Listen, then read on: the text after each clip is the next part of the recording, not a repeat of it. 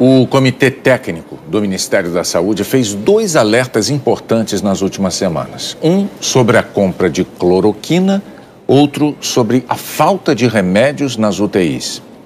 E o ministro interino Eduardo Pazuello ignorou os dois.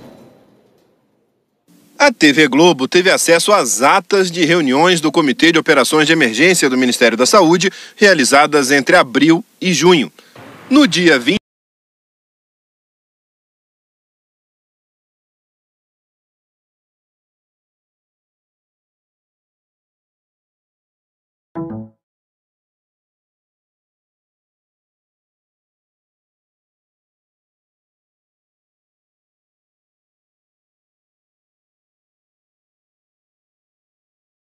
25 de maio, o comitê discutiu longamente a compra de cloroquina.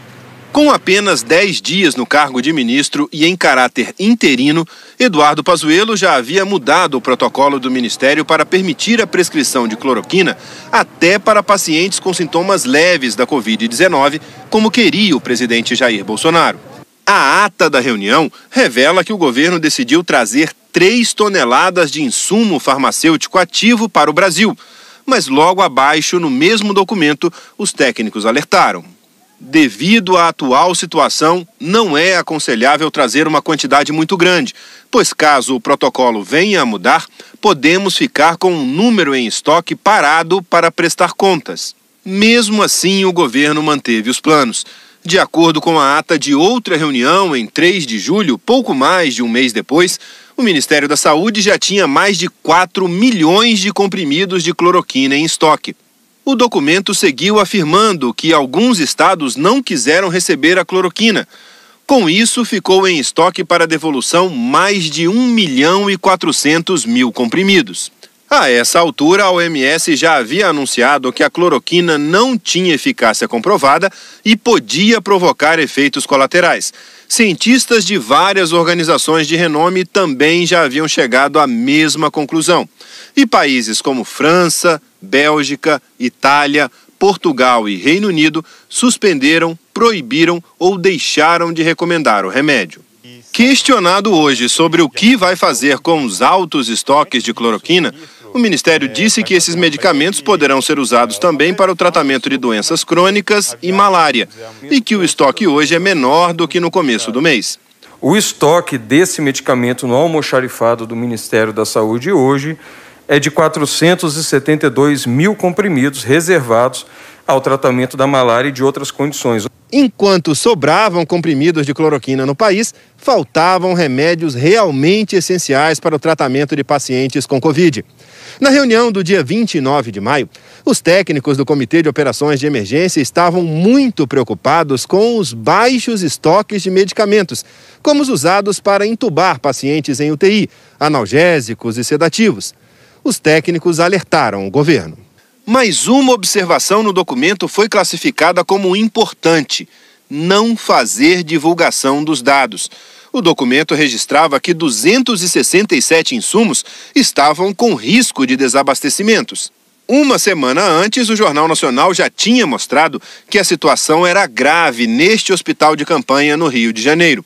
Profissionais de saúde denunciaram que a falta de remédios levou à morte de pacientes. À medida que o médico ia pedindo os medicamentos para fazer a sedação e a curarização, não tinha. Vai ter que fazer, misturar com outros medicamentos, porque não tem. Ele simplesmente parou na minha cara. E uma pessoa que estava conversando comigo, há uns 40 minutos atrás, morreu. E isso é muito duro. Um mês depois, o Jornal Nacional mostrou que a situação continuava a mesma. Em plena pandemia, hospitais pelo Brasil registram falta de insumos básicos, alguns fundamentais como os anestésicos para pacientes que estão nas UTIs. Está em falta o insumo, a medicação de sedação que é usado nos hospitais para intubação. Tá? Então daqui a pouco nós vamos ter, isso é nos hospitais particulares e nos hospitais públicos, é uma falta do produto. Cinco dias depois, dia 25 de junho, o JN voltou a mostrar que 22 medicamentos usados em UTI, como sedativos e anestésicos, estavam em falta em 21 estados e no Distrito Federal. Este neurologista de Cuiabá fazia um alerta. Na verdade, está, está morrendo muito mais gente de Covid por falta de, de medicamento do que propriamente pela doença. Até hoje, essas cenas se repetem por todo o país.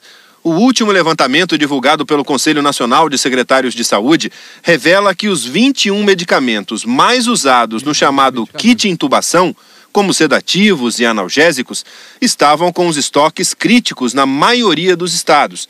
No Paraná, os remédios podem terminar a qualquer momento, segundo o secretário de Saúde. É muito grave a situação e eu quero, eu, eu sou obrigado a dizer isso. Essa situação está passando de uma situação de falta para uma situação de calamidade. No mês passado, governadores de 23 estados e do DF chegaram a assinar uma carta conjunta pedindo que o Ministério fizesse uma compra centralizada no mercado nacional ou aquisição por intermédio da OPAS no mercado internacional.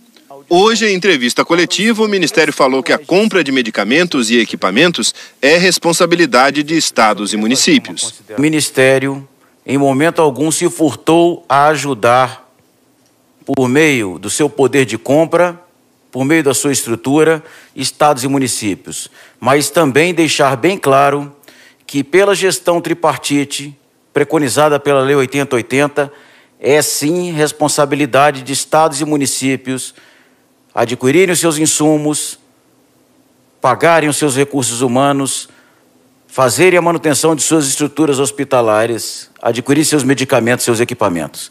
Mas o Ministério, em reforço à ação dos municípios em tempos de Covid, mesmo tendo descentralizado recursos específicos para o enfrentamento à Covid para estados e municípios, ele realizou suas aquisições e está reforçando a ação dos municípios, como nesse caso dos medicamentos para intubação orotraqueal. O coordenador do comitê científico que assessora os governadores do Nordeste, Miguel Nicoleles, diz que o governo precisa fazer uma compra emergencial o mais rápido possível. Essa é, indubitavelmente, a maior tragédia humana da história do Brasil.